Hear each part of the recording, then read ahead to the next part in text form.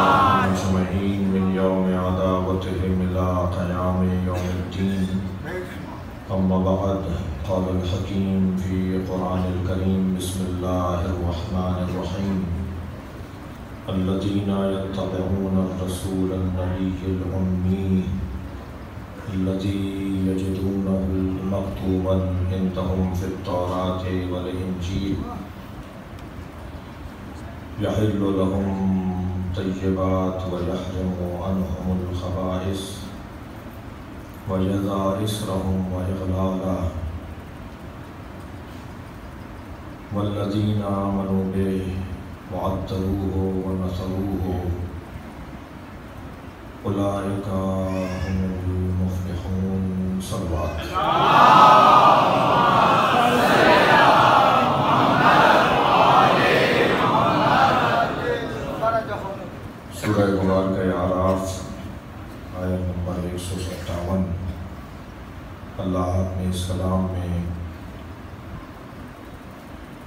अपने रसूल नबी उम्मी की इत्तबा करने वालों की तारीफ़ कर रहा है। और रबीउल अव्वल का महीना है। और इस महीने में इस आयत का भी इंतखाब इसी वजह से हुआ। कि सारा मसला ही है कि हमें नबी के ज़माने में पलटना है। इन मजालस और इन महाफिल का मकसद ये है कि हम रोज़ाना, दिन में कई मरतबा हफ़्ते में, महीने में, जिसको जितनी तोफ़ी हो, वो मजलिस अज़ा में आके बैठे और इतनी देर के लिए असर मुस्तफ़ा में चला जाए। और जब असर मुस्तफ़ा में हम पलटेंगे तो हमारे मसलों का, हमारे मसाइल का हल भी वहीं से मिलेगा। हमने ये इमाम बारगाह बनाए ही इसलिए हैं ताकि उस खेमे में जा बैठे, जहाँ चराग बुझाया गया। ये कबीला है ही ऐसा कि जहाँ चराग बुझाने पे परवाने गुम नहीं होते।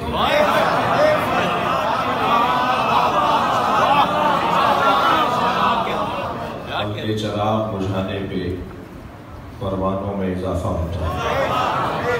और ये इजाफा क़यामत तक होता रहेगा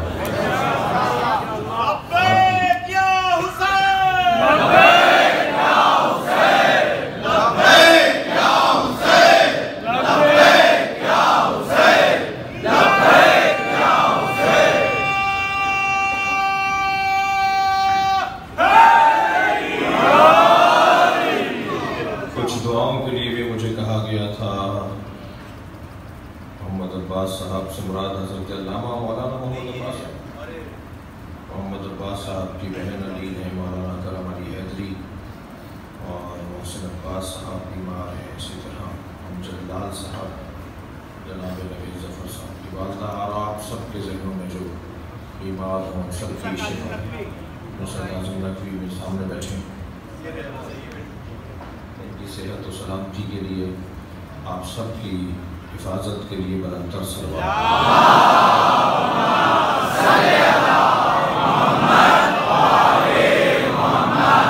बहस ये है कि इन मजालिस का जो नतीजा है वो बहुत ही रोशन है और अजीज़ा ग्रामी कि जब आप बुलंद आवाज़ से रोते हैं ना मजलिस के अख्ताम पर एक दौरानिया मसाइब के बयान का होता है जब आप बुलंद आवाज़ से रोते हैं तो ख़ुद ये गिरिया तबलीग हुसैन है।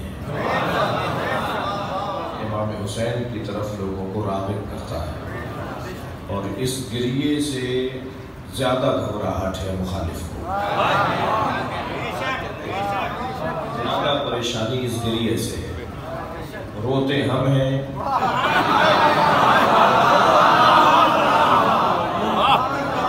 रोते हम हैं हलकान वो होते रोते हम हैं परेशानी किसी और को होती है और उनवान बिदत दे रहे होते हैं कि बिदत है अलबत् मुझे तो इमाम के आने की खुशबू आ रही है। इमाम के जहूर की खुशबू आ रही है।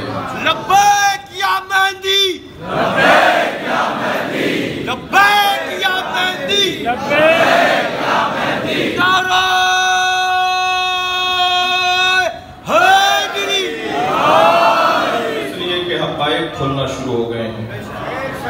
लोग अहले बैत की तरफ़ रागिब हो रहे हैं। मेरा और आपका काम तो अजान देने से ज़्यादा नहीं हमारा काम है अजान विलायत देना। ये मजलिस अजान विलायत और फिर उसके बाद रंग तो खुद, जिनका काम है वो खुद करेंगे। आहिस्ता आहिस्ता हकायक खुलना शुरू हो गए और बहुत तकलीफ़ के बाद मैं ये जुमला कह रहा हूँ कि दो दिन पहले जो एक मुझे नहीं मालूम, मजबूर से आदमी है कोई। नामालूम से आदमी और उन्होंने कुछ बेअदबी की है।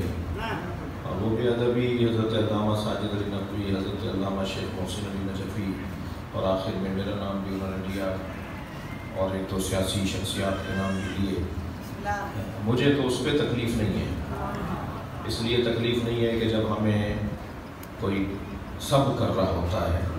कोई लान कर रहा होता है, कोई गाली दे रहा होता है। तो हमें तसल्ली होती है कि हम अली के बुरी उसकी कोई परेशानी नहीं है। लेकिन जो तशवीश की बात है, और वो तशवीश भी हमें, हमारे हवाले से नहीं है। वो है मातमियों को जो गाली दी है। मातम करने वालों को या हुसैन या हुसैन करके मातम करने वालों को गाली दी गई है। वो तकलीफ़ दे इस माना में है कि अगर, जुमला अर्ज़ कर रहा हूँ, अगर हम सांस लेना छोड़ दें तो इनका दम घुट जाएगा।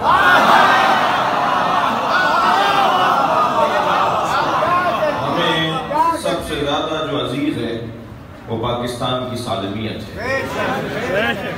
हमारा सब्र हमारी कमज़ोरी नहीं है।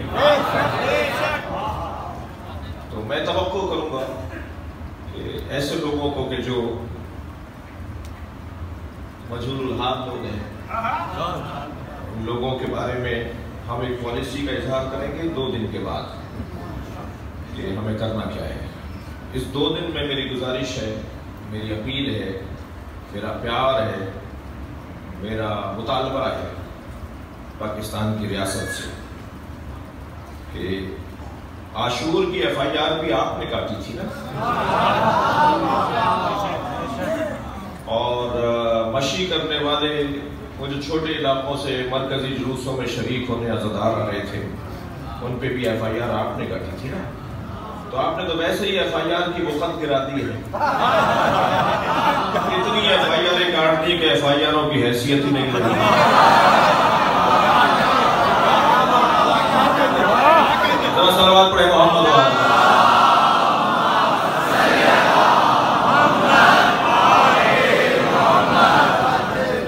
तो जब इसकी कोई हैसियत ही नहीं है एफ़ आई आर तो एक एफ़ आई आर उनकी भी काटिए कि जिन्हें मातम हम करते हैं, मुँह पे तमाचा उनके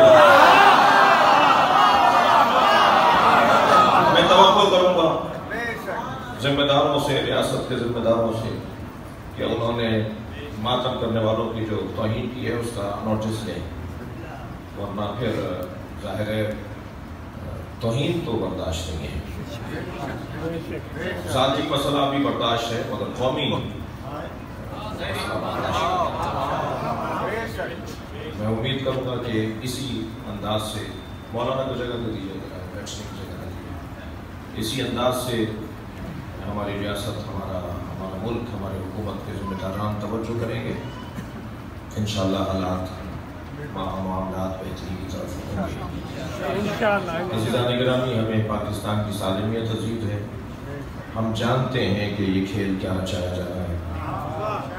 सुना है कि वज़ीर अजम से मुलाकात का इनकार कर किया गया है। माहौल ऐसा बनाया जा रहा है। लेकिन मैं सिर्फ़ इतना कहकर आगे बढ़ूँगा कि इस मुल्क को हमने बनाया था।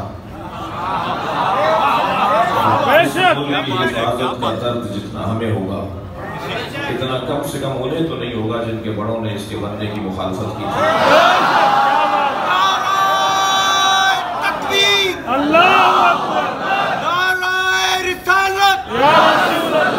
पाकिस्तान जिंदाबाद पाकिस्तान जिंदाबाद पाकिस्तान जिंदाबाद नारा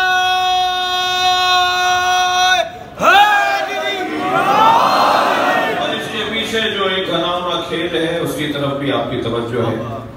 और मैं फिर दोहरा रहा हूँ हैदराबाद के इस तारीखी सालाना खमसे की इस दूसरी मजलिस में कि जितने भी आप बहाने कर लें जितने भी आप माहौल को तंग और तारीख कर लें इतना जहन में बिठा लें कि पाकिस्तान का शिया इसराइल तस्लीम करने नहीं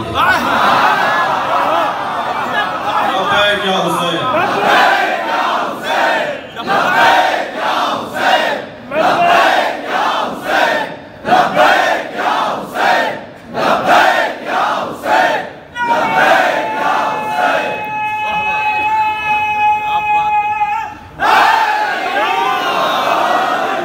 परवरदिगार आलम अपने इस कलाम में अजमत मुस्तफ़ा का इतबाब रोशन कर रहा है।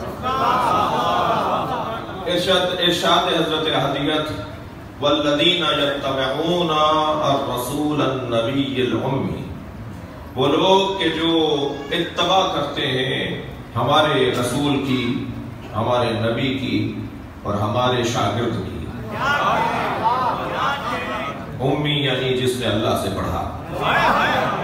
उम्मी यानी जिसको किसी ने पढ़ते हुए नहीं देखा। उम्मी यानी जो असली है, जैसा था वैसा ही है।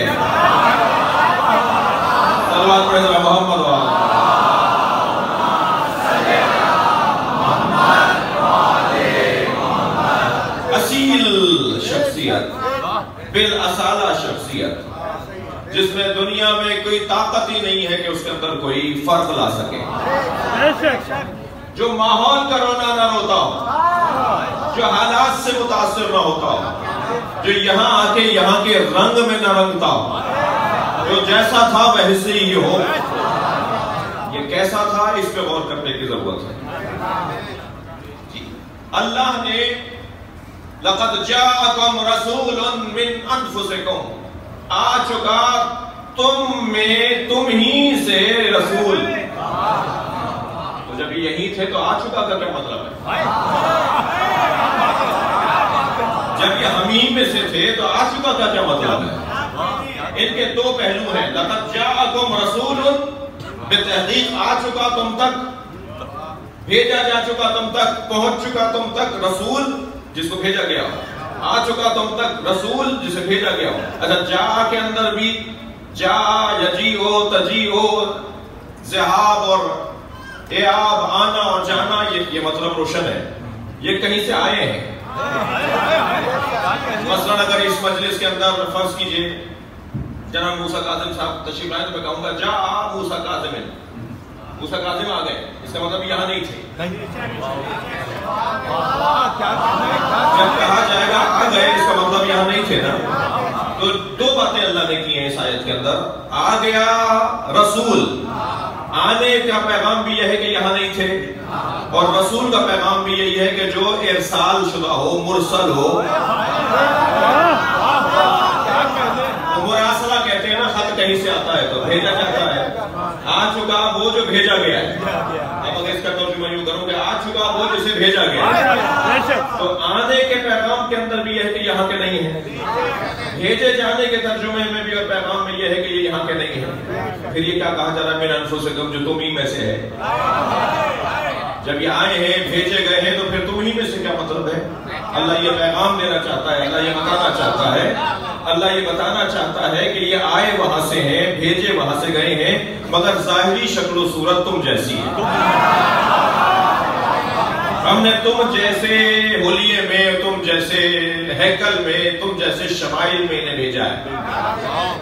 अगर इसी आयत पर गौर कर लिया होता तो बात समझ में आ जाती कि इनकी हैकल हम जैसी है मगर ये हम जैसे नहीं है। खबरदार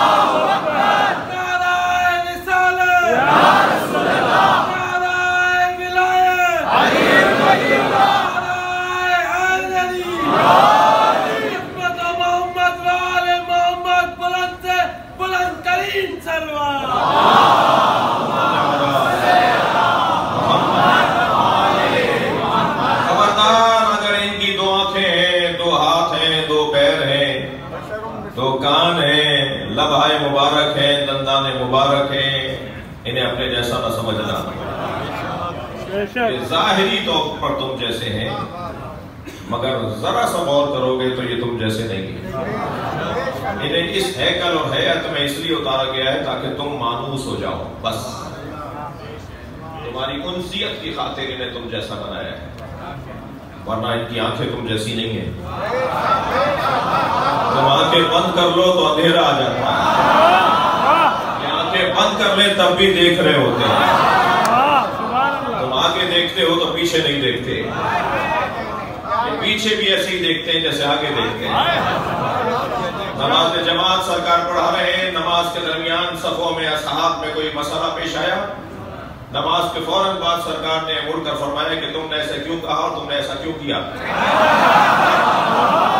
क्या बात है आया रसूलुल्लाह ये तो पीछे हो रहा था हज़रत ने फरमाया जैसे हम आगे देखते हैं ऐसे पीछे देखते ये अगर सो भी जाएँ तो इनकी आँखें देख रही होती हैं। सुबह हुई तो नबी मुकर्रम ने फरमाया आयशा तुमने फला चीज़ फला जगह रखी फला चीज़ को फला जगह रख दिया। फरमाया या रसूलुल्लाह आप तो सो रहे थे। फरमाया हमारे सोने को अपने सोने से न मिला।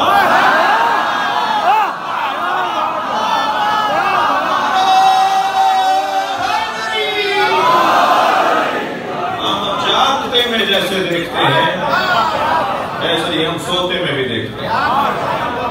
आँखें तो एक जैसी नज़र आ रही हैं मगर आँखों की बीनाई मुख्तलिफ़ है, रोयत मुख्तलिफ़ है। हज़रत मूसा को हेतूर पर गए, और जब पलट कर आए तो उसके बाद से उनकी रोयत इतनी तेज हो गई थी, उनकी बीनाई इतनी सरी हो गई थी कि 30 मील के फासले से स्याह रात में स्याह पत्थर पर चिंटी देख लेते थे अल्लाह की अल्लाह की सिफाती तजल्ली देखकर हज़रत मूसा की दीद इतनी रोशन हो गई थी कि इतने फासले से हज़रत मूसा देख लेते थे। जो अल्लाह की सिफाती तजल्ली देखे, उसकी आँखें ऐसी हो। और जो अल्लाह की जाती तजल्ली देख कर आया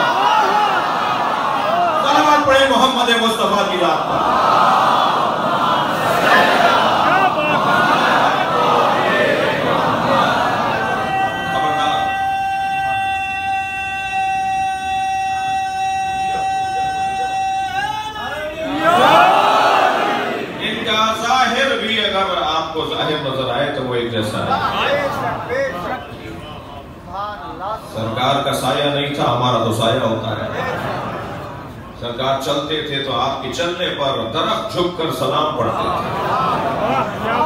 और जिस कंकरी पर और जिस पत्थर पर और जिस रेत पर सरकार के पैर पड़ जाते थे, वो कंकरियाँ आसमान के सितारों पर गुरूर करती थी।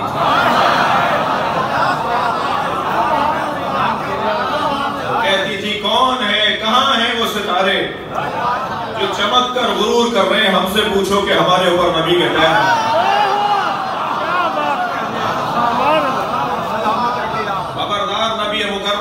जाहिरी अब ये वहाँ से भेजे गए हैं। ये हमारे साथ ये वहाँ से आए हैं। ये जो वहाँ से आए हैं ना, इसका मतलब ये कि ये वहाँ के हैं।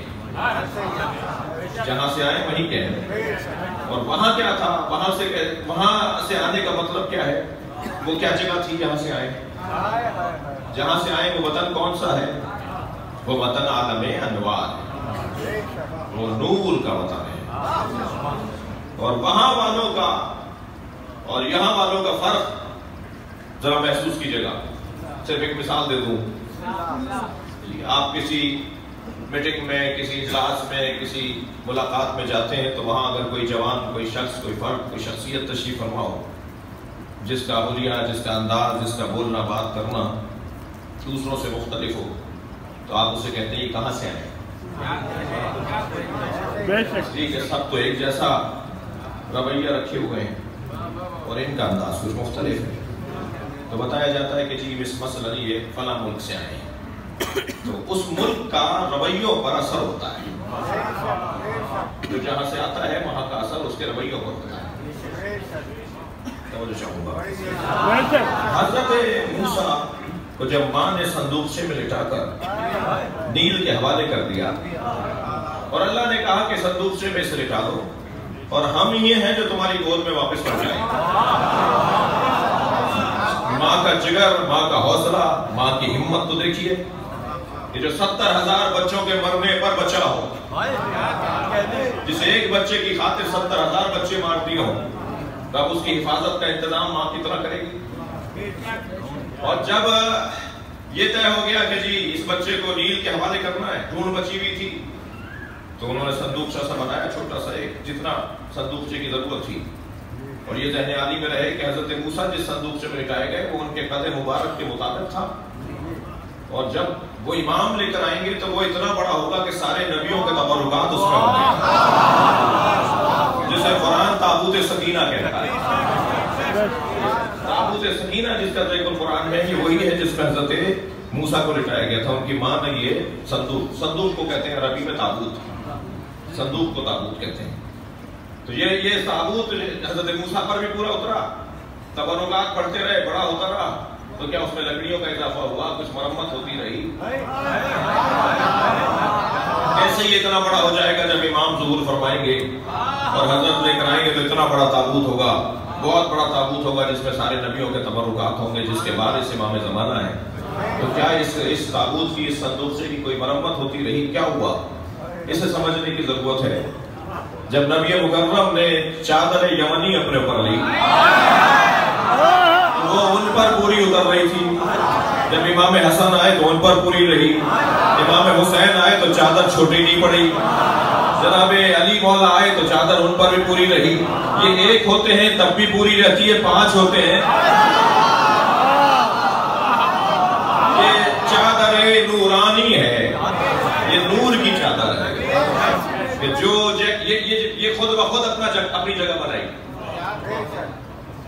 तो क्या हुआ? फिर एक मरतबा वो संदूक तैरता हुआ नील में तैरता हुआ महल में चला गया।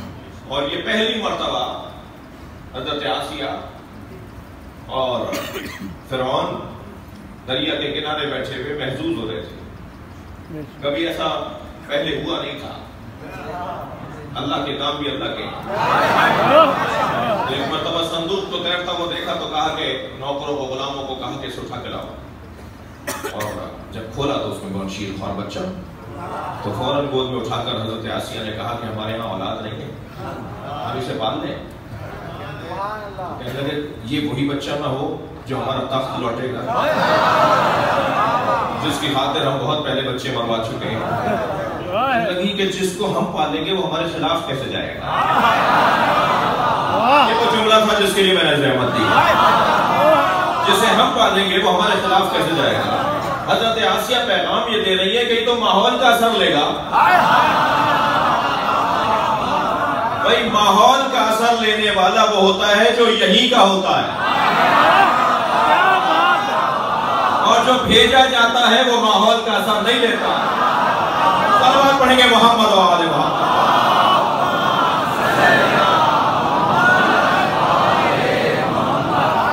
एक और सलवात नबी की जात।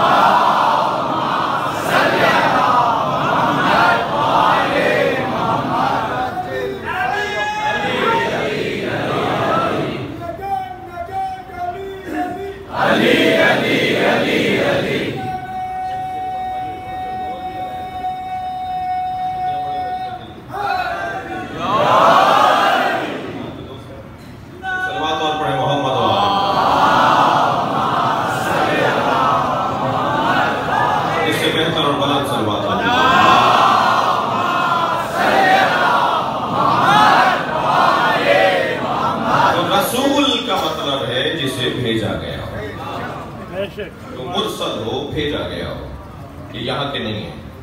ये वहाँ से भेजे गए हैं। और ये जहाँ के हैं, वहाँ जाना ताज्जुब आवर नहीं है।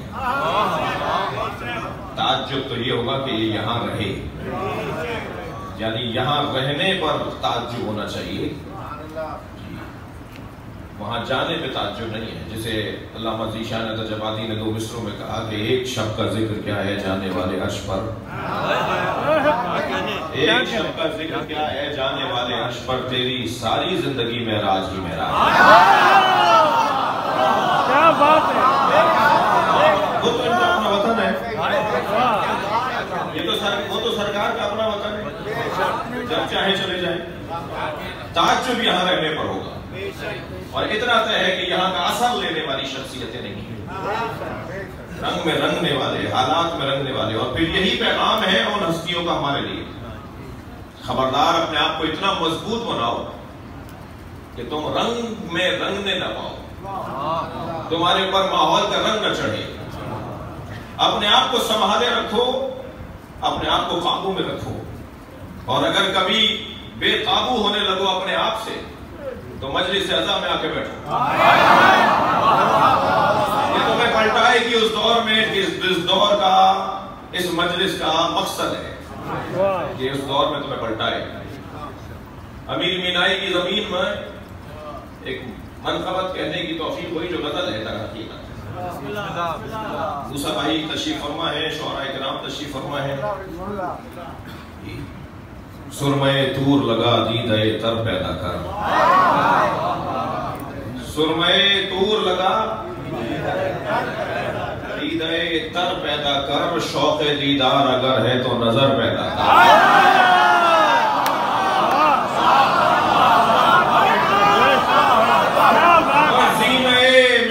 शब्बीर से बढ़कर क्या है? भाई, जीने मिंबरे शब्बीर से बढ़कर क्या है? मिल गया तुझको शरफ, इस पे न शर पैदा कर।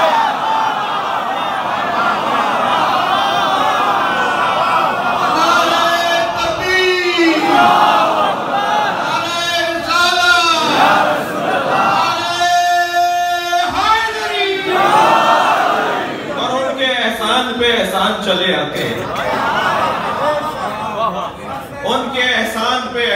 चले आते हैं अपनी उल्फत में भी अंदाज दिगर पैदा।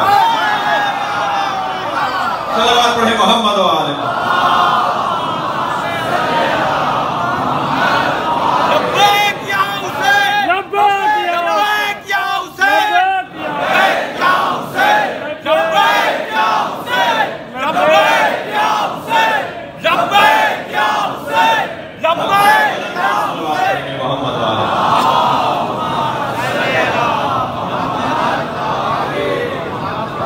दो चार और इसी कलाम के शेर सुन लीजिए ओह, क्या बात है जियो और अल अजल, अल अजल कहने से आ जाएँगे मौला कैसे? दूसरा भाई, तवज्जो चाहूँगा दूसरे मिसरे पे कि अल अजल कहने से आ जाएँगे मौला कैसे? अपने आका के जरा दिल में तो घर पैदा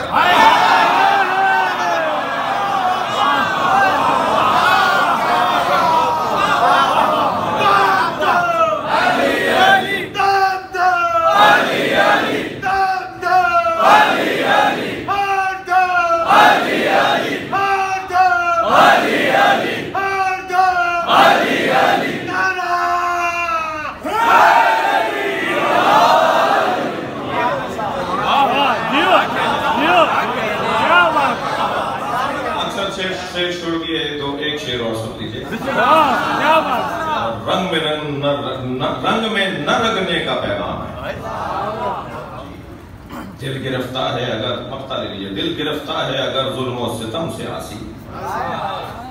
दिल गिरफ़्तार है अगर जुल्म सितम से आसी, खानकाही से निकलने का जिगर पैदा जियो पढ़ेंगे मोहम्मद वाले जियो जियो जियो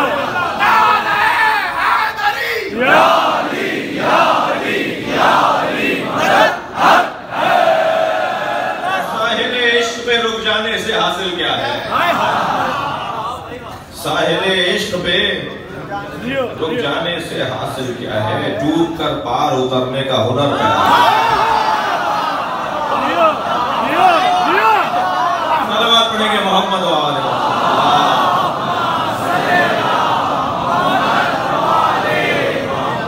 तुम पाकिस्तान में पैदा हुए हो।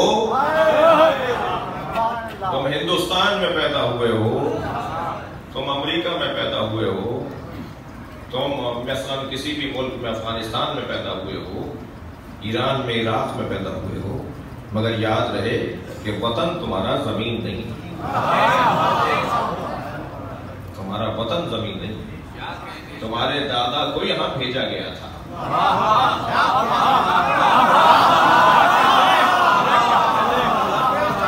वतन क्या बोलते हैं? पिछला वतन क्या कहते हैं? मालूम? जुड़ा हुआ पिछला वतन। तुम्हारे दादा यहाँ के नहीं मैं आदमियों से बात कर रहा हूँ। क्या बात है क्या बात है क्या बात है। मौलानी के मुताबिक आदमी नुमा जानवरों से बात नहीं ये ज़मीन हमारा वतन नहीं है हमें हमारे दादा को कहीं से यहाँ भेजा गया वो, वो कहीं और से यहाँ आए थे। तो ये जहाँ से आए हो वहाँ पलटना है। ये इन्ना लिल्ला व इन्ना इलैहि राजिऊन का मतलब ही है ये कलमा इस्तरजा मैयत देखकर नहीं पढ़ा जाएगा ये मुर्दों के अल्फाज नहीं है, ये जिंदों के कलमा हैं। सलवात पढ़े मोहम्मद वाले मोहम्मद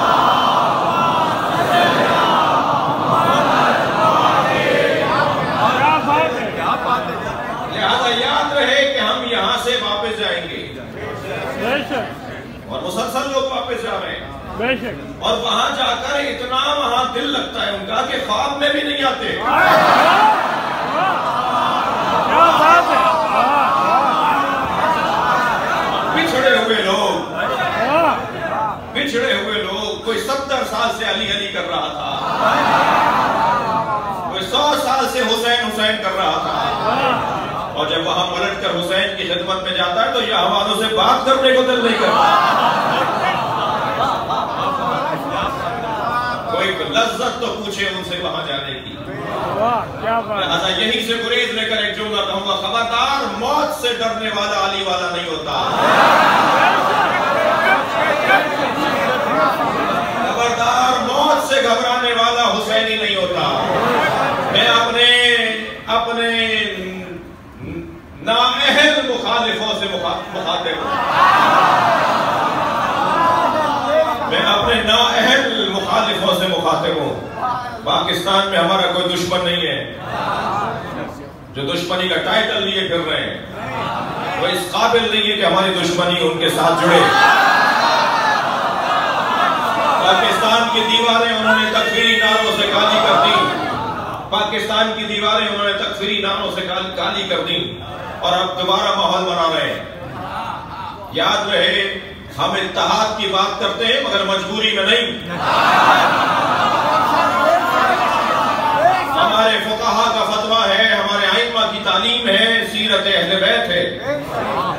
और फुकाहा का फतवा आइमा की तालीमात की रोशनी में है। खबरदार मुसलमा इस्लामी मसालिक की तोहीन करना हराम है। खबरदार अहले सुन्नत के मुकद्दसात की तोहीन करना हराम है। मगर इसका ये मतलब नहीं है कि हम फिदक नहीं पढ़ेंगे।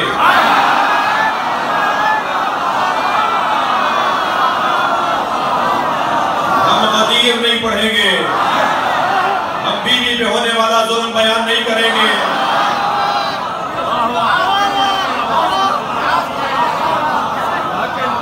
बल्कि अब तो और सजा कर करेंगे।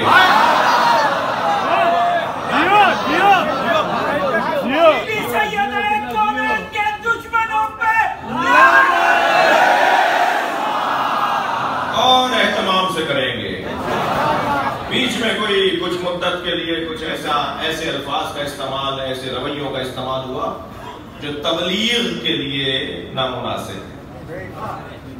तबलीग का पहला उसूल यह है कि आप मुबल्लग से जिस तक पहुंचाना चाहते हैं, उससे प्यार करें। उसे नाराज़ करेंगे, चिढ़ाएँगे तो आपकी बात नहीं पहुंचेगी। लिहाजा अल्फाज अच्छे हो, लहजा प्यारा हो, जुमले नपे तुले हो अल्फाज का इंतखाब हो और मुरस्सा हो। बात दिलों पर उतरे। लिहाजा बीच में जो बेअदबी, बदतमीजी और इस तरह के अल्फाज, रकीक अल्फाज भी इस्तेमाल हुए, वो शाया निशान नहीं है, बोलने वाले के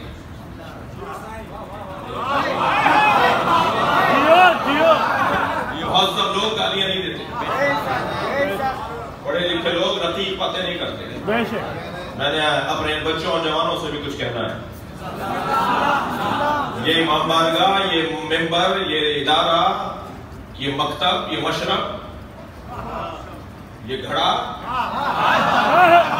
ये सबील, जहाँ से हम पानी देते हैं, जहाँ से हम ज़िंदगी देते हैं। पानी यानी ज़िंदगी सबील यानी ज़िंदगी। जहाँ से हम ये सबील देते हैं, उसका नतीजा कुछ और है। खबरदार, जमाने के साथ चलना सिखाता है ये मकतब। जमाने से काटने का पैगाम नहीं है। आज सोशल मीडिया का दौर है फेसबुक का ट्विटर यूट्यूब न जाने क्या क्या नाम। कुछ और जदीद चीज़ें भी हैं। ये जो सोशल मीडिया का दौर है मैं नहीं कहूँगा इन जवानों से, बल्कि कहूँगा इन जवानों से कि इस जदीद मीडिया, जदीद सोशल मीडिया और जदीद तरीकों से अपने आप को और बेहतर आशना करो। अब सिर्फ़ मेंबर का काम नहीं है, मकतब का दिफा।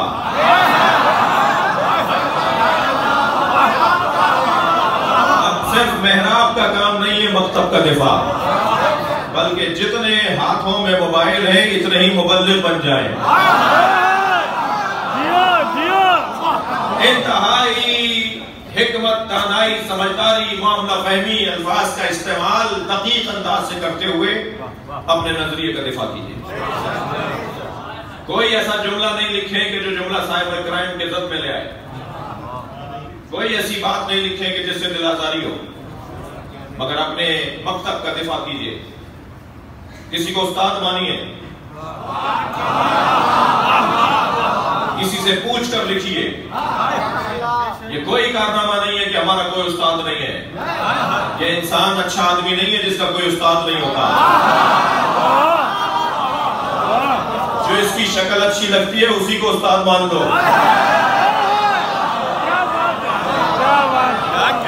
जो अच्छा लगता है जिससे प्यार है उसी को उस्ताद मान दो। लेकिन अजीजा ने गिरामी तबलीग होनी है। अहले बैत के पैगाम में जो रुकावट बनी चीज़, वो मुनाजरे का वो रंग है, जो हमारे यहाँ गुजशत चालीस सालों में रहा।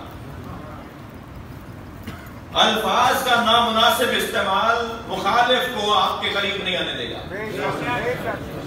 लिहाजा, ये जो दौर आया है, जिस दौर की वजह से हमें बहुत सारी चीज़ों की तरफ़ तवज्जो का लामहाला खुद ब खुद हमें ख्याल करना है। इंतहाई गहरी बात कीजिए। इंतहाई मज़बूत बात कीजिए। अगर अल्फाज का इस्तेमाल मुहजब रहे। और जब मुहजब अंदाज से आप बात करेंगे आपकी सुनी जाएगी। वक्त बेहतरी का है। हम ऐसे मोड़ पर आके खड़े हुए कि इमाम का जहूर करीब है। तैयारियाँ अपनी बेहतर कीजिए। तैयारियाँ अच्छी कीजिए। मैं अपने बच्चों और जवानों से कह रहा हूँ। भरपूर अंदाज से मकतब अहले बैत की तर्जुमानी। शिद्दत है। मेरी मेरी मेरी, मेरी गुजारिश ये होगी कि हम इस माहौल का रंग ना लें बल्कि उस माहौल का रंग यहाँ चढ़ाएँ। वो जो उस माहौल का रंग है वो हमें मिलेगा असले मुस्तफ़ा से। सरकार के जमाने से। बार बार मजलिस में शिरकत बार बार आजादारी से ताल्लुक ताकि हम उस दौर में पलट जाए। अल्लाह हमें यही बताना चाहता है कि वो लोग के जो इतवा करते हैं, उस रसूल की जो नबी भी है और जो उम्मी भी है। जिसके बारे में तौरात और इंजील के अंदर पहले से ज़िक्र मौजूद था। जिसका काम यह है कि वो तैयबात को हलाल करार देता है और खबाइश को हराम करार देता है। जो इसलिए भेजा गया है कि गर्दनों में जो गुलामी के तौक थे, उन्हें उतार फेंके जिसका काम यह है कि लोगों को गुलामी से निजात दिलाए। अजीजा ने ग्रामी उसका काम यह है कि वो लोगों को बंदों की इबादत से निकाल कर अल्लाह की इबादत तक ले आए।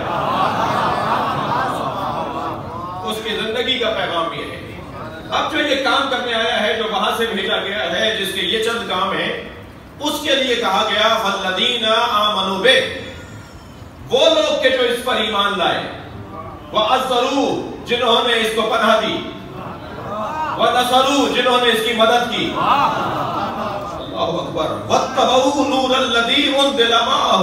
और वो लोग जो उस नूर की इत्तबा करते हैं। मैं आज इस मंजिल पे नहीं रुकूँगा, लेकिन एक जुमला कह देता हूँ, इत्तबा की बात हो रही है इताअत की बात नहीं हो रही। यहाँ लफ्ज इत्तबा है, लफ्ज इताअत नहीं है। क्या फ़र्क है इताअत और इत्तबा में ये आगे की मजलिस में बयान होगा? और वो लोग के जो उस नूर की इत्तबा करते हैं, जो इसके साथ नाजिल हुआ है। इससे मुराद कुरान नहीं है।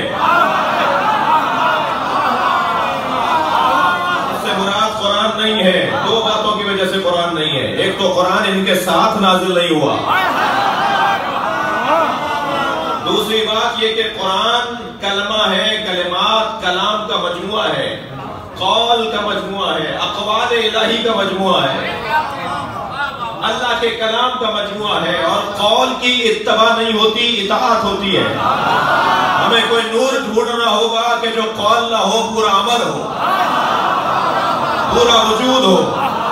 और हमें एक ऐसा नूर तलाश करना है जो मुस्तफ़ा के साथ आया है। सलामत पढ़ेंगे मोहम्मद वाले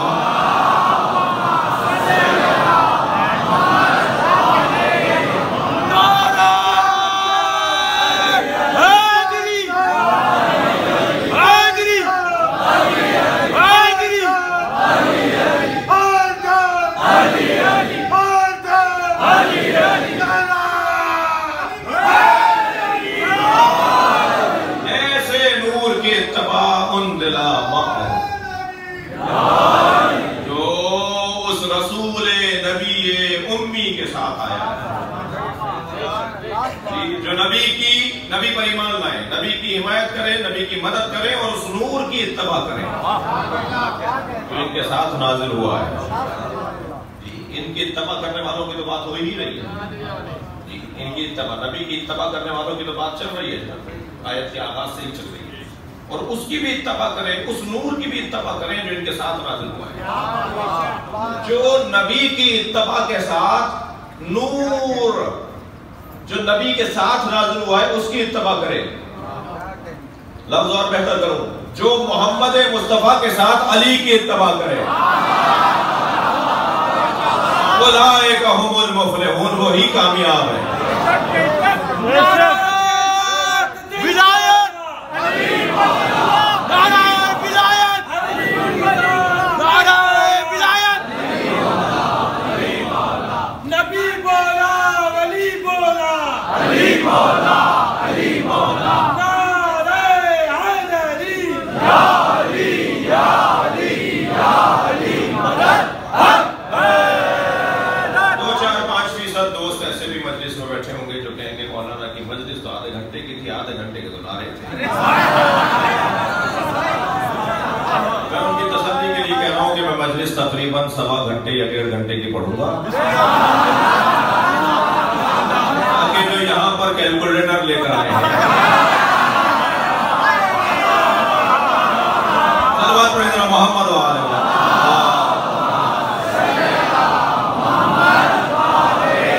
उनका हिसाब भी सीधा रहे वाह क्या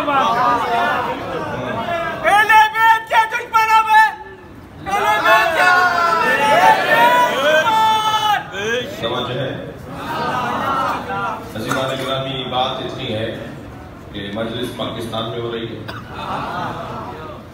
ईरान इराक में तो मजलिस पढ़ नहीं रहा या मजलिस के दरमियान में चाय भी चलती रहती है। जी आना जाना भी रहता है। यहाँ तो जो आ गया उसे जाने का मौका ही जब मिलेगा। क्या बात है। मुकम्मल हो जाएगी और और एक साल फरमाने लगे कि जी आपके यहाँ की मजलिस एक घंटे की होती है मगर एक घंटा पहले आना पड़ता है तो ये करम है अल्लाह का आप लोगों मुझ जैसे ना अ, अहल तालिब इल्म की बातें सुन रहे हैं।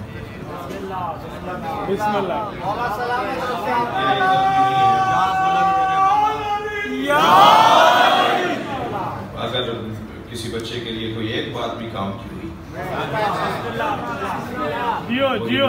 हासिल है एक बात भी नई अंदाज से होगी। बातें तो सारी आपके दिमाग में अल्लाह ने डाल के भेजी। जियो जियो। ये जब आपके दिमाग की बात को दलील मिलती है तो आप सुबह अल्लाह बोलते हैं। फितरी तौर पर पैदाइशी तौर पर जियो जियो। आप पहले से ही इन बातों पर यकीन रखते हैं। और जब उन बातों पर दलील मिलती है लहजा मिलता है लफ्ज मिलता है तो आप बेसाख तक कहते हैं सुबह अल्लाह वो सुबह अल्लाह मेरी तारीफ़ में नहीं कह रहे। वो सुबह अल्लाह आप अल्लाह की तारीफ़ करते हुए कहते हैं या अल्लाह तू कैसा?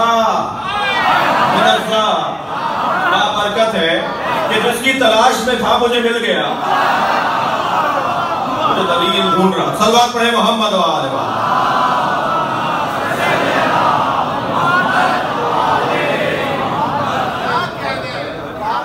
क्या बात है। अब सलामती के लिए बाबा से बुलंद सलवार अब वो जो रसूल नबी उम्मी की इत्तबा करने वाले लोग हैं उन्हें दावत दी जा रही है कि वो उस नूर की इत्तबा करें जो नबी के साथ नाजिल हुआ। उस नूर की इत्तबा वो नूर कौन सा है? मेरे मौला नबी ने हमारी रहनुमाई फरमा दी अना व नूर वाहिद। एक ही नूर के दो पहलू हैं। इस तरफ़ से देखोगे अली नज़र आएगा। उस तरफ़ से देखोगे नबी नज़र है। ये एक हकीकत के दो जलवे और अजीजा ने गिरामी जिस नबी का साया नहीं था उसी के साये को अली कहते हैं। सिर्फ़ तीस साल के लिए जाहिरी जुदाई हुई। जियो जियो।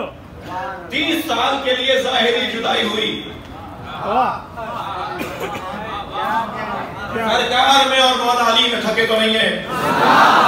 सरकार दो जहाँ में और मौला अली में सिर्फ़ तीस साल के लिए जाहिरी जुदाई हुई। आपका कोई प्यारा, आपका कोई महबूब, आपका कोई है पक्का, सच्चा दोस्त, अगर आपसे दूर हो जाए और मालूम हो वो आ रहा है। तो आपके जज्बात क्या होते हैं? बाद में भी देखिएगा। कि मौला अली और नबी में तीस साल का जाहिरी सिन का फ़र्क है।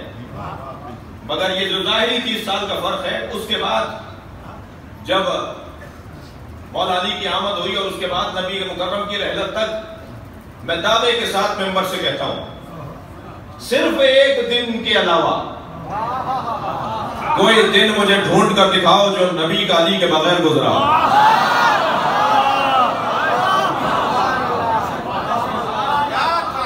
और जब एक दिन के लिए सरकार ने मौला अली को अपने आप से दूर किया तो फरमाया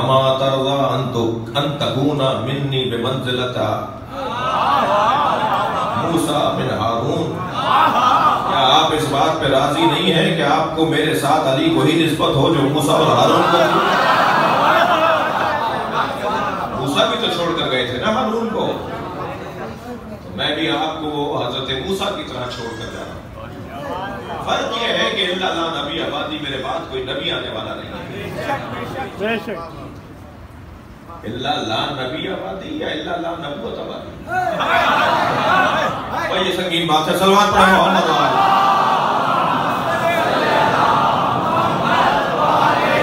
जियो जियो। सलवार पढ़े मोहम्मद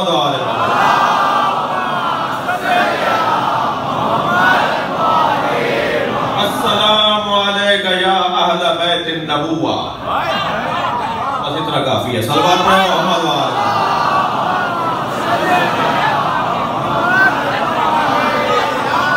नारा तकबीर अल्लाह नारा रिसालत या रसूल अल्लाह नारा हैदरी मैं तवज्जो चाहूँगा नबी मुकर्रम और अली एक नूर के दो हिस्से मैं बेशक और अली एक नूर के दो हिस्से हैं। अना व अली मिन नूर वाहिद। दो हिस्सों में बांट कर बताया, जो हिस्सों में बढ़ जाए। एक हिस्सा दूसरे हिस्से का मोहताज। दूसरा हिस्सा पहले हिस- हिस्से का जरूरतमंद और जो जरूरतमंद हो जाए, वो समझ नहीं होता। और जो समझ ना हो, वो अल्लाह नहीं होता लिहाजा ये जुज जुज के साथ नबी को मौला अली के साथ जोड़ दिया। और अगर किसी को ये समझ में ना आए कि ये क्या कह दिया कि मैं और अली एक नूर के दो हिस्से हैं तो लोगों को समझाने के लिए और बात आसान कर दी। अना व अली। मैं और अली का मसाले रोज मिनल कमीज का मसाले जसद मिनल रास। मैं और अली ऐसे ही हैं जैसे सर और जिस्म। अली मेरा सर है, मैं अली का जिस्म हूँ। और बदन हमेशा सर से पहचाना जाता है। मारफत मुस्तफ़ा हासिल करनी है तो अली के बगैर हासिल नहीं होगी। हर एक को उसके मिजाज और उसके दिमाग और उसकी जहनीत के मुताबिक सरकारें दो जहाँ समझा रहे हैं। मुकर्रमा में दाखिल हो रहे हैं। दाखिल होते हुए कुछ लोगों को देखा, कुछ लोगों ने कि अली के गिर्द हल्का बनाए हुए तो हसद के मारे सरकार के सामने आकर कहने लगे कि लोग काबे को छोड़कर अली की तरफ़ जा रहे हैं। तो मेरे मौला नबी ने फरमाया, मसल अली, इनका मसल काबा अली की मिसाल खाना काबा जैसी है। वाला सब काबे के गिर चक्कर काटते हैं, काबा किसी के गिर चक्कर नहीं।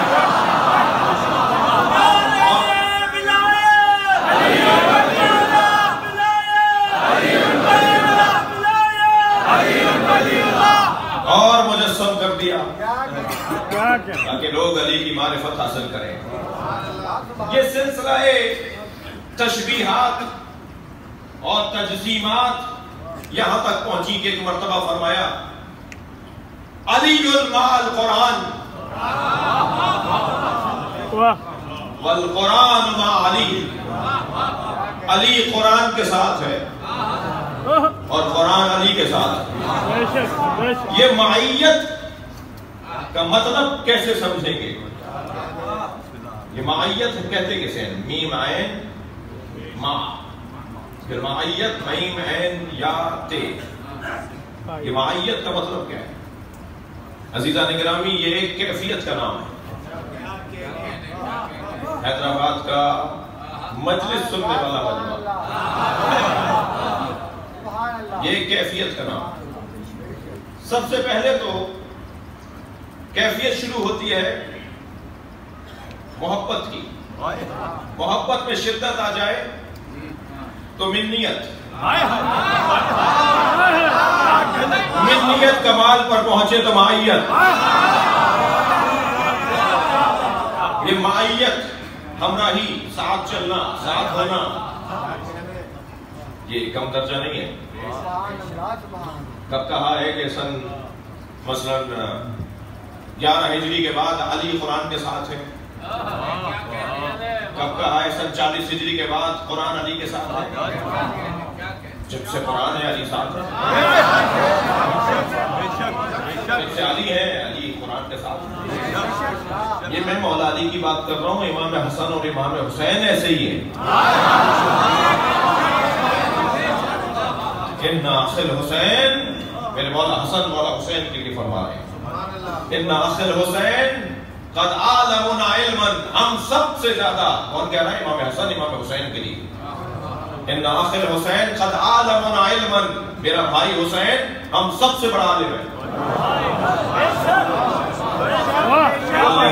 कोई नहीं है बोलने वाला कोई सहाबी मोहतरम नहीं है बोलने वाला वो है जो हुसैन का भी इमाम है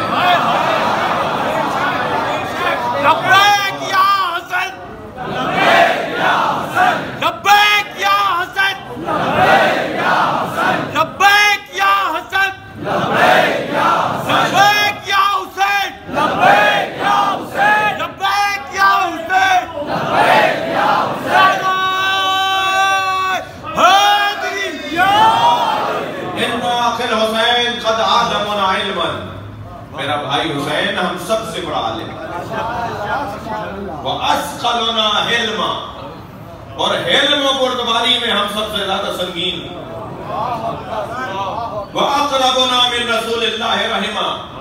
और हम सबसे ज़्यादा नबी से कुर्बत रखता है। काना युकराउल वही तक हुसैन ने कुरान नाजिल होने से पहले कुरान पढ़ लिया था। नहीं समझ में आएगा उन लोगों को जिन्होंने यहाँ से पानी नहीं पिया। जायका बढ़वाइए। जायका बहाल करवाइए। क्या बात है? क्या बात है साहब कह रहे कि उन्हें समझ में नहीं आएगा हमें तो समझ में आए। इंशाल्लाह क्लास में हाजिरी बराबर रखो तो समझ में आएगा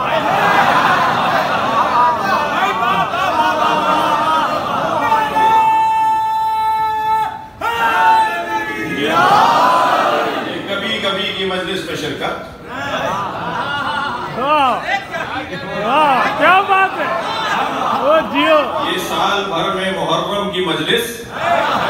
और मुहर्रम की मजलिसों में भी पहले अशरे के बाद फिर छुट्टी।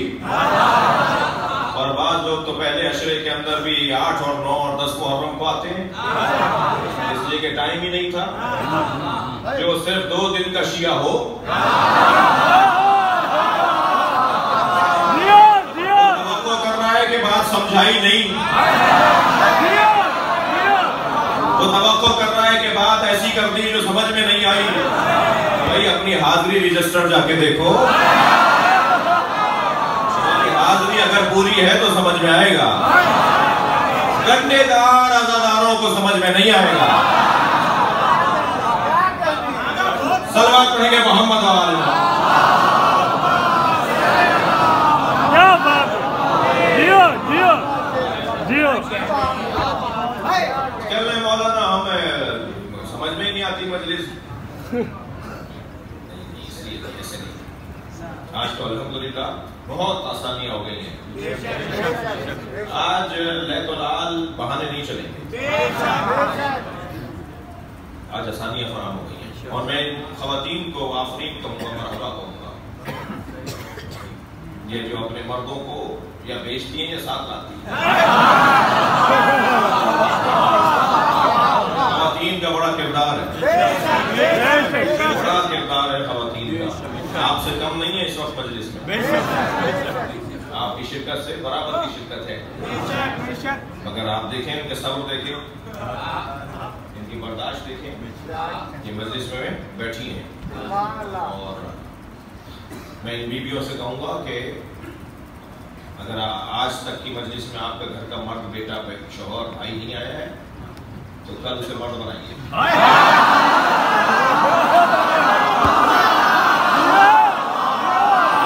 अल्लाह ताला मोहम्मद वाले मोहम्मद।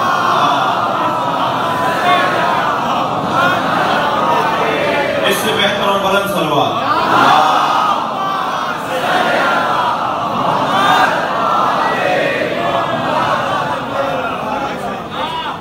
वाह तवज्जो है सरकार मौला अली के साथ नाजिल हुआ है फरमाया अली माल कुरान वल कुरान व अली।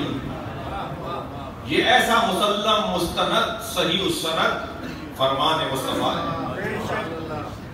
जो मौला अली के फजाइल में इनफरादियत रखता है। एक बुज़ुर्ग अहले सुन्नत आलिम दीन लिखते हैं कि अली के सारे फजाइल एक तरफ़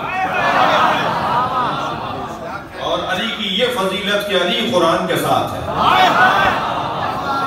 और कुरान अली के साथ है। ये फजीलत अली की इनफरादी है। अली के अलावा किसी और को ये कमाल नहीं जरा जिगर थाम के और संभल के बैठिए मैं मजलिस शुरू कर रहा हूँ अलीयुन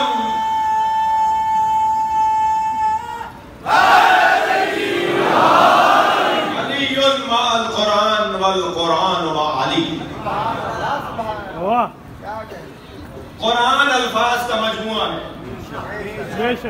कलाम इलाही का हसीन मजमुआ है। कुरान पढ़ने की किताब है रखने की किताब नहीं है। वाह वाह क्या बात है। कुरान सुलाने की किताब नहीं है जगाने की किताब कुरान कब्रों पे पढ़ने की किताब नहीं है, बल्कि कुरान जिंदों को सुनाने की हाँ। अगर ये सारे काम हो तो फिर कब्र पे भी पढ़ना सवाल अगर ये सारे काम हो, जब मुसाफिर घर से निकल रहा होता है, वो कुरान के नीचे से गुजरता है तो इसका क्या मतलब है? तुम कुरान के नीचे से गुजरे हो, रिश्वत लेने जा रहे हो क्या बात है क्या बात है तुम वाह कुरान के साय से निकले हो और भाई पर मुकदमा करने जा रहे हो? कुरान के नीचे से तो गुजारा ही इसलिए था कि कुरान के खिलाफ ना जाना। कुरान पढ़ने की किताब कुरान अमल करने की किताब कुरान का इतनी ऊँची ताक में नहीं रख दो कि हाथ ही ना पहुँचे। क्या बात है? सीढ़ी रखनी पड़ेगी कुर्सी रखनी पड़ेगी। अफसोस है उन घरों पर जिन घरों के कुरान पर मट्टी जम जाती है। मिलाफ मट्टी में हो जाता है। ये मट्टी का जमना बता रहा है कि इन्होंने एक महीने से उठाया ही नहीं। अगर ये रोज़ाना उठा रहे होते तो मट्टी न जमती। तो जो है तो फिर मैं सिंध में मजलिस पढ़ रहा हूँ। सिंधियों की खूबियों में से खूबी यह है कि कुरान का एहतराम सिंधियों में हर कौम से ज़्यादा है। और बाद औकात तो एहतराम में इतना इफराती हो गए। बाद औकात कुरान के एहतराम में इतने इफराती हो गए कि बच्चियों की शादियाँ भी कुरान से कर दी। ये इफराती लोग हैं। ये कुरान से नाशना लोग हैं। सिंधियों के यहाँ जो खूबियाँ हैं उनसे खूबी है कुरान आता है। अगर कोई सिंधी नहीं रहा तो सिंधी हो जाए। कुरान आता है तो ये खड़े हो जाते हैं। और कौमों में आप जाके देखें। कुरान आता है बैठे रहते हैं बैठे बैठे कुरान लेते लेकिन सिंधियों की सकाफत का हिस्सा था। बोलिए है। मुझे पता है, है मगर आपसे बुलवा रहा हूँ। ताकि इसमें अमल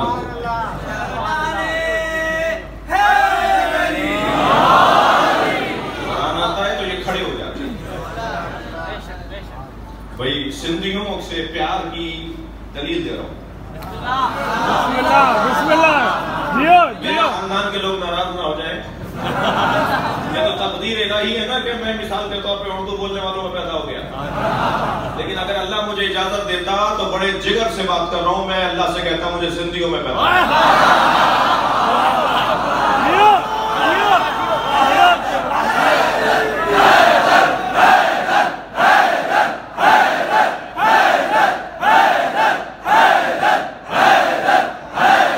एक सलावत पढ़े मोहम्मद वाले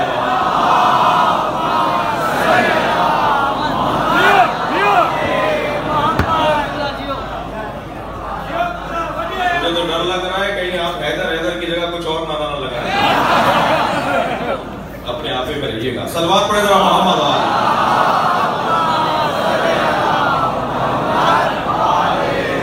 बड़ी मेहनत के बाद एक जुमला हदिया करने जा रहा हूँ जी साईं। हाँ साईं हुन जे हिन जे करे ईअं त सिंधी आहियाँ पर जेकी शनाख़्त ऐं अलाह जो आहे निज़ाम वजालनाकुम शुऊबन व क़बाइला लिताअरफू माशाअल्लाह उसके हिसाब से तो कोई भाई पंजाबी बैठा होगा कोई मिसाल उस हिसाब से वरना असल असां सिंधी आहियूं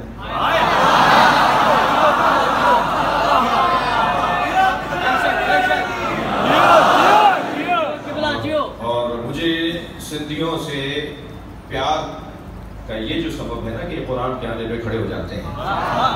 इसकी इल्लत सुन। कोई कौम पर से आना बैठा होगा। जियो जियो। ये जो कुरान के आने पे खड़े हो जाते हैं ये कुरान के जो आने पे खड़े हो जाते हैं तो मेरे दिल से ये मेरा नज़रिया है। ये इसलिए खड़े हो जाते हैं कि कुरान अली के साथ है।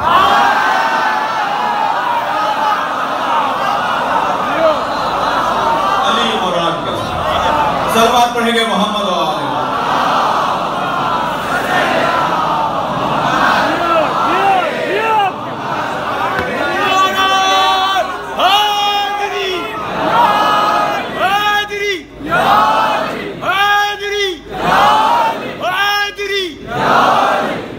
तवज्जो है नबी मौला फरमा रहे हैं अली माल कुरान वल कुरान व अली वाह अली कुरान के साथ है और अली के साथ। जब नबी ये कह गए तो वो कैसा मुसलमान है जो कहता है कि कुरान और अली जुदा है? वो कुरान पढ़ता है बगैर अली के? वो कुरान की तफसीर पढ़ता है बगैर अली से पूछे? पूरी तफसीर लिख देता है दो कौल भी अली के नहीं लिखता। पूरे कुरान में अली का कौल ही नहीं पूरी तफसीर में अली का कौल ही नहीं। दस जल्दों की तफसीर लिख दी एक हदीस भी अली से नहीं। मेरे मौला नबी ने फरमाया, या अली, इल्जम बैतक, तुम उस वक्त तक घर से न निकलना। जब तक मेरा बताया हुआ तफसीर कुरान, मेरी बताई हुई तफसीर कुरान जमा न कर लो। छह महीने गुजर चुके थे खिलाफत। और हुकूमत को कायम हुए हुए। मौला अली नहीं मिले। अली के नज़दीक किसी और चीज़ को अहमियत नहीं है जितना कुरान को अहमियत है। तो हज़रत से हज़रत मिलने आए। पहले तो पैगाम भेजा कि आप आइए। हज़रत ने फरमाया आप मेरे घर आइए। और वो घर आ गए। अली के बुलाने पर हज़रत का आना। ये खुद दलील है कि हज़रत अली को अफजल मानते थे।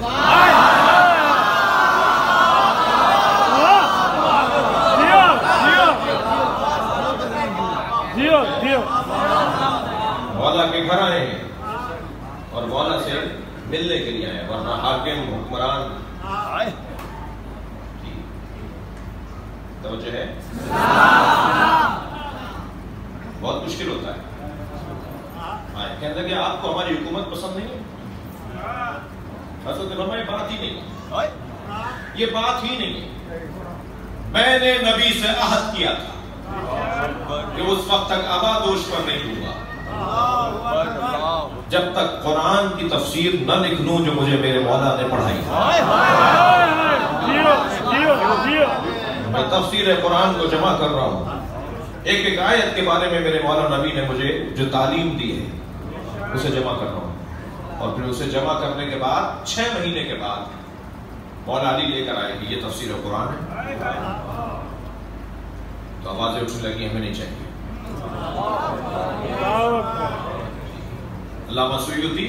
उल खुलाफा के अंदर लिखते हैं।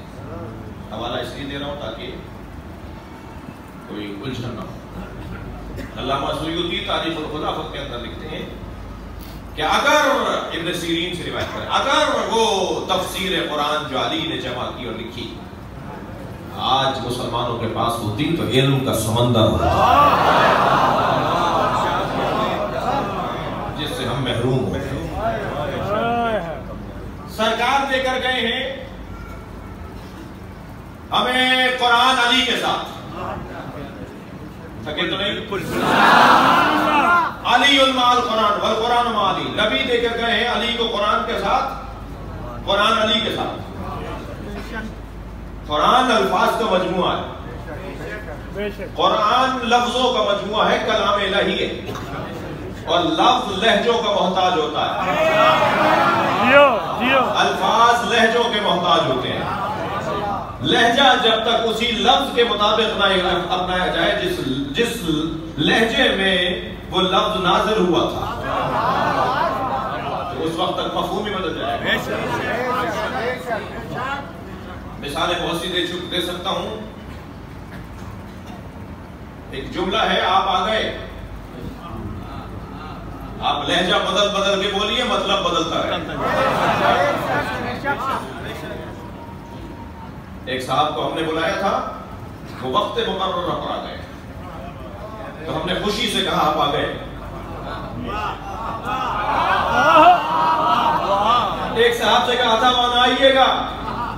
आपके आने से फसाद होगा। और वो आ गए। हमने कहा आप आ गए? जियो जियो जियो जियो। तो एक ही है। एक ही है। महल बदलने से लहजा बदल रहा है। बेशक। एक साहब को पता चल गया कि हमारी मूसा काजिम साहब के यहाँ दावत है। और उन्हें जब पता चल जाता है कि खाना है तो वो ज़रूर आते हैं। और वो नज़र आए तो हमने कहा आप आ गए। लहजा बदला इसलिए कि पहल बदल रहा है। कुरान अल्फाज का मजमुआ है कोई वो बोले कि जो लहजे से आशना है। सलवात पढ़ेंगे मोहम्मद वाले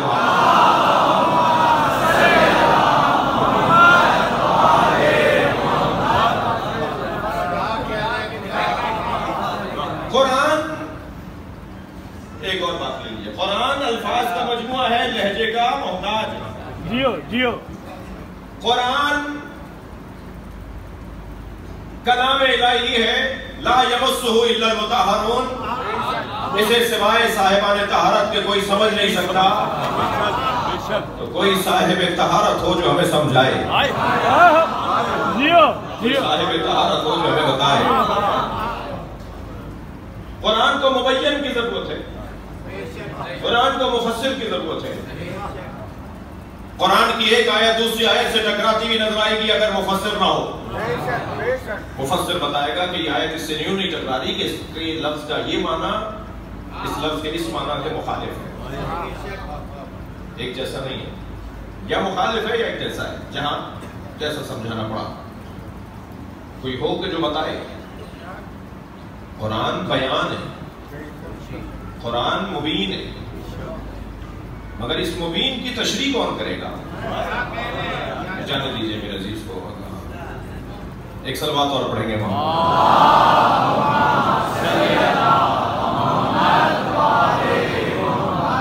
इससे बेहतर पढ़ेंगे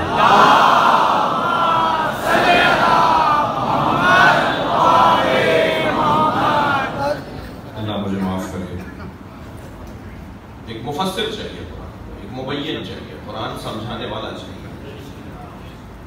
ये मेरी, मेरा जुमला पुराना है, अलिफ से अनार बे से बकरी वाली किताब के लिए उस्ताद चाहिए। कुरान के लिए उस्ताद नहीं चाहिए?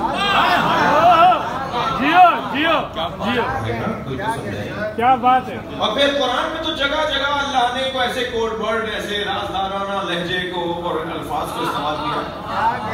तो हर एक को अल्लाह ऐसा लगता है कि उस वक्त अच्छा अगर अगर वो लफ्ज नहीं होते ना तो फिर क्या हाल होता जब ये हाल है? अब अब ये हाल है कि हमें कुरान काफ़ी है। अगर वो लफ्ज ना होते तो क्या होता? अलिफ लाम मीम। नीचे लिख दिया अलिफ लाम मीम। तर्जुमा करो ना। अलिफ लाम रा, नीचे लिख दिया अलिफ लाम रा। बताओ ना क्या मतलब है? काफ हा, या, ऐन, साथ नीचे भी लिख दिया तर्जुमे में। काफ हा, या, ऐन, साथ। बताओ ना क्या मतलब है? कि मैं मतलब पता होता तो। अल्लाह ने इन अल्फाज को कुरान में नाजिल करके बताया कि मैं ये नबी से बात कर रहा हूँ। तो मैं ये नबी बताएगा या नबी जैसा बताएगा जियो जियो जियो जियो लिहाजा लिहाजा कुरान समझने के लिए नबी अली को छोड़कर लें और ये जैसे गजा मुंतकिल की जाती है, ऐसे ये एक के बाद दूसरे को गजा मुंतकिल करते रहे। हर जमाने में कुरान का मुफसर है। हर जमाने में कुरान का मुबैन है। एक हर जमाने में कुरान का एक समझाने वाला है। भाई बारह सौ पर जाके बात खत्म होती। अल्लाह ने बारहवें पर जमाने को रोका। मगर कुरान अपने साहिब से खाली नहीं है। कुरान अपने हामिल से खाली नहीं है। कुरान अपने मुफस्सिर से खाली नहीं है। आज कुरान तनहा नहीं है। ये नबी ने कहा है। नबी ने कहा है तो ये ये नबी की बात पर यकीन करना है। और थोड़ा सा अपनी बात को रोशन कर देता हूँ। अल्लाह अल्लाह है, ये नबी ने बताया है अल्लाह कह दो अल्लाह है। अल्लाह वहद शरीक है, ये नबी ने बताया उसी नबी ने ये भी बताया है कि मैं दो चीज़ें छोड़े जा रहा हूँ। किताबुल्लाह अल्लाह की किताब और अपनी इतरत छोड़ कर जा रहा हूँ। तो नबी के उस कौल पर यकीन है तो इस कौल पर भी यकीन करो। ये दो चीज़ें छोड़े जा रहे हैं और ये भी फरमा दिया लाइन यफ्तरिका ये एक दूसरे से जुदा नहीं होंगे। यहाँ तक के कयामत में मुझसे आकर मिलेंगे। तो नबी के इस कौल पर यकीन रखा जाए कि कुरान अकेला नहीं है। तो हमें तो कुरान नज़र आ रहा है मस्जिद में घर में रखा हुआ। अहले बैत कहाँ है? अहले बैत कहाँ है? मैं बच्चों और जवानों के लिए जुमला कह रहा हूँ। हमारा नज़र ना आना मयार कब है? अपने कद में रहो। अपने कद में रहो, अपने आपे में रहो, बाहर ना निकलो। जब कभी इस तरह की बात कोई इस तरह की सोच दिमाग में आए तो चेहरा आईने में जाके देखो।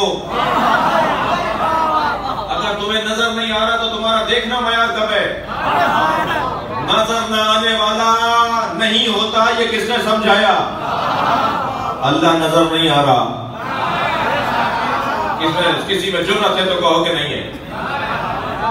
हवा चल रही है, महसूस हो रही है, नज़र नहीं आ रही। ये तो दलील नहीं है कि हवा नहीं है। बहुत से लोगों के सर में मैंने दर्द कर दिया, उनका दर्द हो रहा है, मगर नज़र नहीं आ रहा। दर्द है, मगर नज़र नहीं आ रहा। तो ये कौन सी दलील हुई कि जो नज़र आए वही मानोगे? जो नज़र नहीं आ रहा, उसे नहीं मानोगे? नहीं, अजीजा ने गिरामी। नबी ने कहा है कि ये एक दूसरे से अलहदा नहीं होंगे तो नबी को मानो कि ये एक दूसरे से अलहदा नहीं होंगे। इमाम ज़माना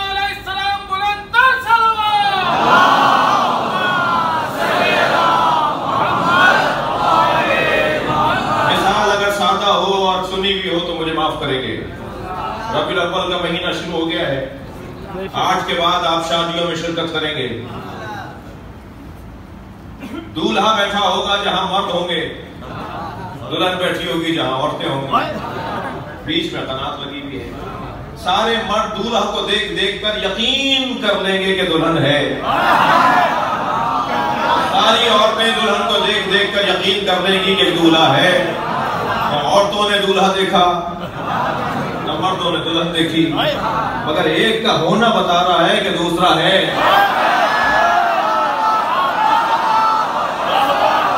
अगर कुरान तुम्हारे घरों में है तो नबी पर यकीन रखो कि अहल बैत है। पढ़ेंगे मोहम्मद। जियो जियो क्या बात है जियो जियो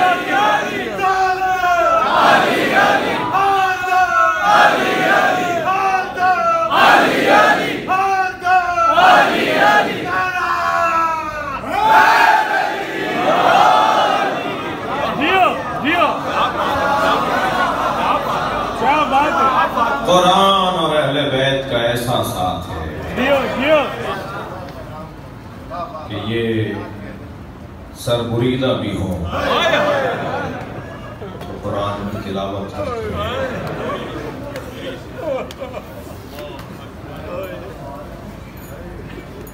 या अली मेरी तदफीन के बाद मुझे छोड़ कर न सैयदा फरमा रही है बल्कि सारी रात मेरी खबर पे कुरान पढ़ना।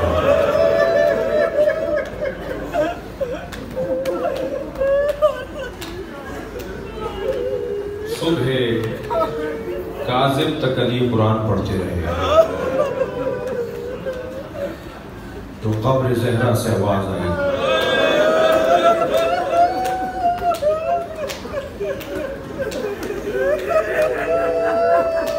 अली मेरी जैनब रो रही है।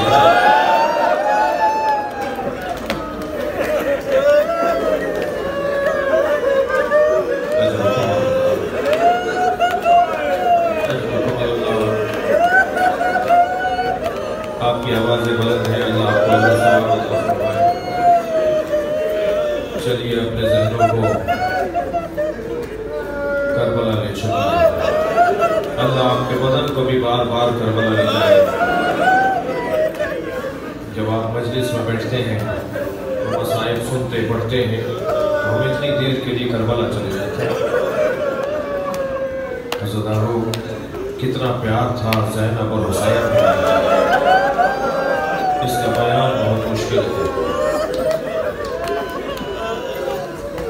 ये दोनों बहन भाई एक दूसरे के बगैर रहते नहीं थे। जैसे जनाब जहरा की आमद पर नबी खड़े हो जाते थे। ऐसे जनाब जैनब की आमद पर हुसैन। छोटी बहन और रिवायत कहती है कि हुसैन हाथ पकड़ के बोसा देते थे। और अपनी जगह बिठाते थे।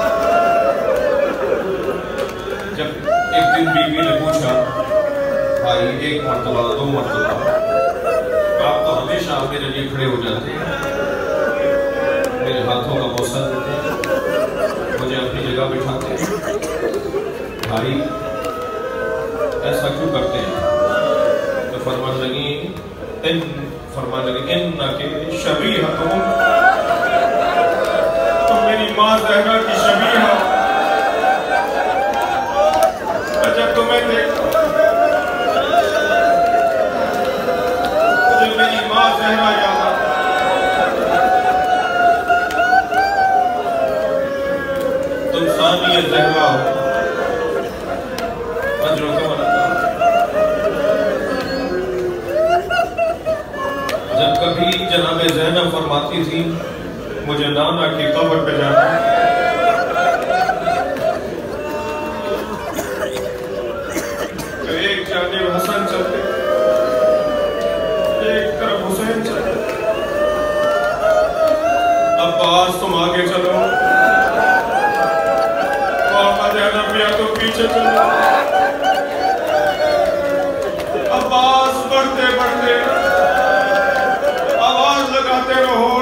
इस रास्ते पे अली की बेटी।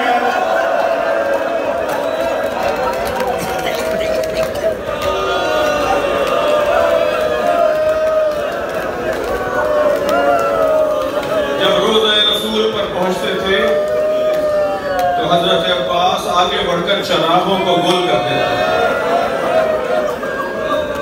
इसलिए कि कहीं जहनब की साया किसी को न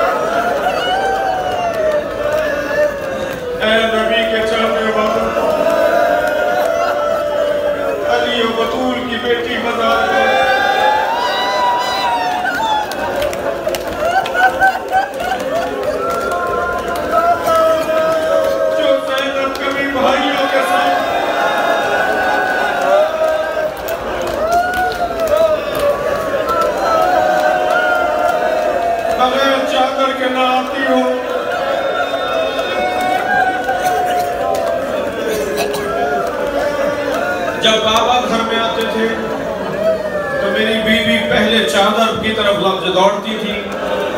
चादर सर पे रखकर बाबा के में एक दिन जनाबे जैनब बाबा की गोद में बैठे, कि जनाबे जैनब के सर से चादर सरक गई। मेरे मौला अली ने सर का बोसा दिया बहुत रोए अली।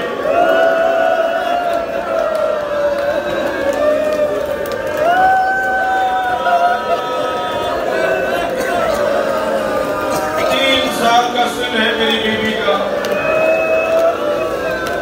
नबी रोज़ाना सुबह की नमाज़ के बाद दर जहरा पे सलाम करते हैं। सलाम करने आए, दरवाज़ा खुला। सामने जैनब को खड़े देखा। आगे बढ़कर पेशानी का बोसा दिया। फरमाया, जैनब, तुम दरवाजे पर क्यों आई हो? नाना, मैंने रात को ख्वाब देखा। अम्मा जहरा कहती है, नाना से ताबीर पूछो। नबी ने अपनी बच्ची को सामने बिठा दिया क्या देखा है, मेरे नाना, मैंने देखा है सहरा में तनहा। जिन्होंने आए अपनी आवाजों को आज़ाद कर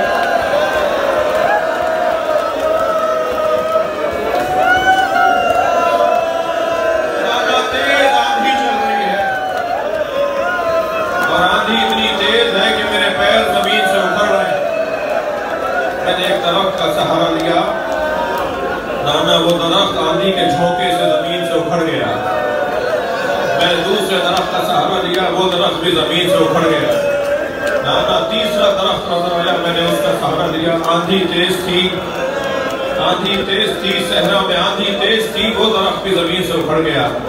नाना दूर दूर तक कोई दरख्त नहीं था। तेज आंधी चल रही थी। आँखों में आँसू आने लगे। कभी ने फरमाया मेरी क्यों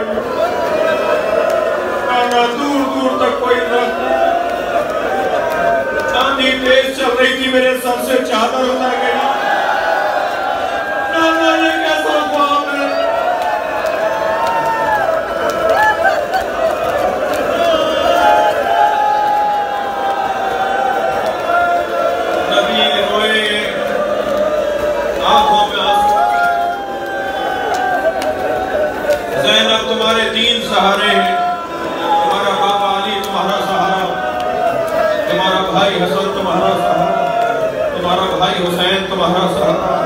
एक बयाबान होगा जहाँ तुम्हारे सर से चादर उतरेगी।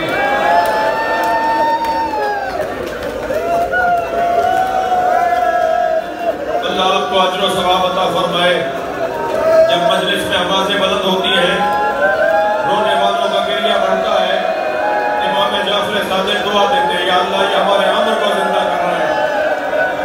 यकीन जानिए, हमारे अमाल अपनी जगह। अगर इन आंसुओं का कयामत में बड़ा फ़ायदा नतीजा है? तसल्ली कीजिए, मुझे जल्दी नहीं है। जरा सांस लीजिए।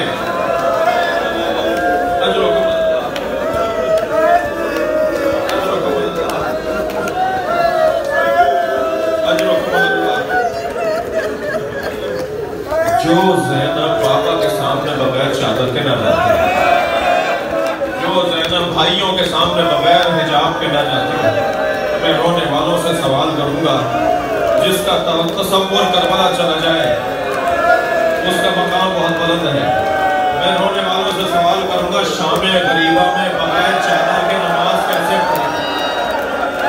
वो मगरिब की नमाज़, वो कैसे कहा होगा अल्लाह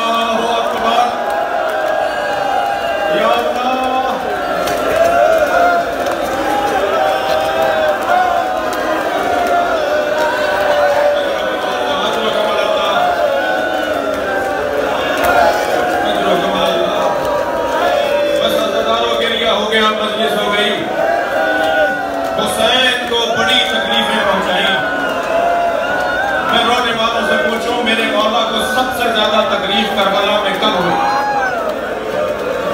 क्या अली अकबर के लाशे पर? क्या अब्बास के कटे हुए मुमताजुआ पर? क्या अली असगर के नन्हे से जनाजे पर? हुसैन कब ज़्यादा मुस्तरब हुए? मौला को सबसे ज़्यादा तकलीफ़ कब हुई? जब हुसैन घोड़े से गिरे। मेरे मौला के बदन में हरकत नहीं थी। शेबर खंजर लेकर रहा एक सिपाही ने आवाज़ दी, इतना ठहर जाओ कि रूह परवाज कर जाए। फिर हुसैन का गला काट देना। तो इसने मुड़कर देखा और कहा, कैसे तय करें, हुसैन ज़िंदा है? बहुत देर पहले हुसैन गिरे थे। हुसैन के बदन में हरकत नहीं है। तो एक और सिपाही की आवाज़ आई, मैं एक जुमला कहूँगा। अगर हुसैन ज़िंदा हुए तो उठ के बैठ जाएँगे। इसने कहा, हुसैन ज़मीन करबला पर है। सिपाहियों ने जैनब पर हमला कर दिया।